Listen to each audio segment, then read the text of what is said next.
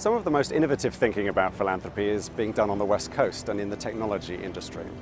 And some of the signatories of the Giving Pledge come from that industry.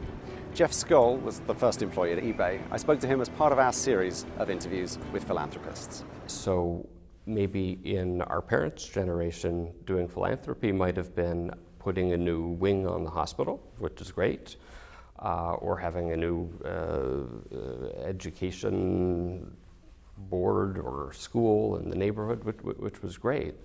Um, and that was that, that, served a time when we were much more local. Now, the changes upon us are, are exponential, and it you know it's also a, a big advantage to take opportunities to solve global problems, uh, solve interconnected problems, and if if we can do that, then you know we can go back to uh, I don't know back back to saving the arts.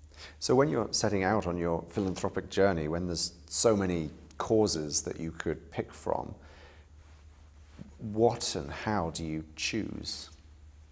When I was growing up, I, you know, middle class family, never had any uh, expectations of great wealth.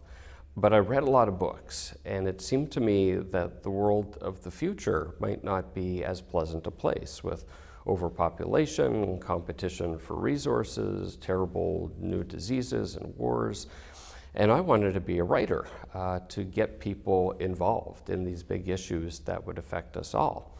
And I didn't think that would be the best way of making a living, uh, no offense to our journalistic colleagues. Uh, so I became an entrepreneur first, uh, started a few businesses, then eBay.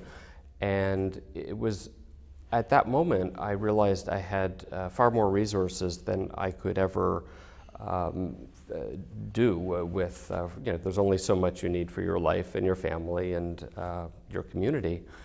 And I resolved to try to tackle the biggest issues in the world. Uh, so the, the frame is issues that reflect uh, whether mankind will survive into the next century, uh, and better still, uh, will thrive beyond that. And so, so the vision is to live in a sustainable world of peace and prosperity you obviously have participant media as, uh, as one of your uh, ventures, and you've talked a lot about the power of storytelling as a way of leveraging the philanthropy that people are doing, right?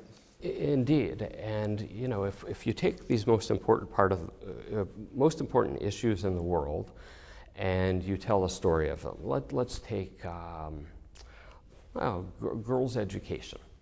You know, are you going to go see a movie about girls' education? Well, Probably not on its face. And you get so many philanthropists or well-meaning folks or NGOs that come and say, hey, I want to do a movie about girls' education. And sometimes we'll go to the well, we'll commission, we'll develop, we'll try to find a story. Um, other times we'll take a look out and find something that somebody's working on.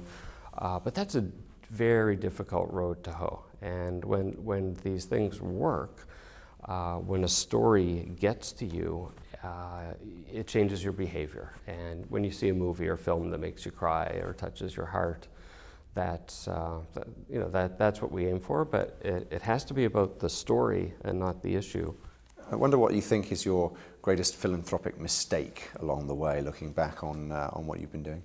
I think at times uh, philanthropists uh, can go in, think that they've solved a problem, and turn uh, to other things because uh, that problem is, is now solved. Um, my example uh, was uh, the movie An Inconvenient Truth, which took climate change from being a not discussed matter, not important matter, to getting people up in arms about it. Um, and then figuring, you know, the scientists and the public opinion will take care of it from there. Um, now, over the last five years, the fossil fuel industry fought back, and so now we're sort of pushing back with a different message. You know, it's positive, but uh, lesson one: if you're going to do a campaign about something, uh, be in it for the long haul.